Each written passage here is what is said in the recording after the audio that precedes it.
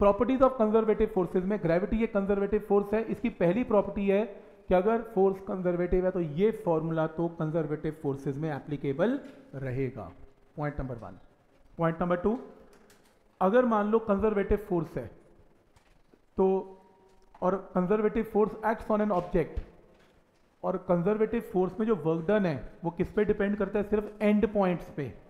तो ऐसे केस में फोर्स कंजर्वेटिव है। तो ये बताने की कोशिश कर रहा है ये पॉइंट कि आपका जो अमाउंट ऑफ़ वर्क डन है, वो सिर्फ़ इनिशियल और फाइनल पे डिपेंड करेगा। इनिशियल और फाइनल पे डिपेंड करेगा, रास्ते पे डिपेंड नहीं करेगा, ये पॉइंट भी हमें मालूम है। नेक्स्ट पॉइंट है क्लोज पाथ में। क्लोज पाथ में कंजर्वेटिव का वर्क डन हमेशा क्या आता है? Zero to and fro path बताया था मैंने, ये भी कर लिया। और अगर फोर्स कंजर्वेटिव है तो मैकेनिकल एनर्जी कंजर्व्ड है। मतलब एनर्जी कंजर्वेशन उसमें एप्लीकेबल है। और अगर नॉन कंजर्वेटिव है, उसमें एनर्जी कंजर्वेशन एप्लीकेबल नहीं है, ये इसकी प्रॉपर्टीज़ हैं। लिखने का तरीका टफ हो सकता है, लेकिन मैंने एग्ज़ाम्पल से आपको समझा दिया कि इसका मतलब क्या है। समझ में आना चाहिए, ये कोई ना आपसे लिखवा के दे रहा टेंशन मतलब कोई नहीं लिखवाएगा आपसे।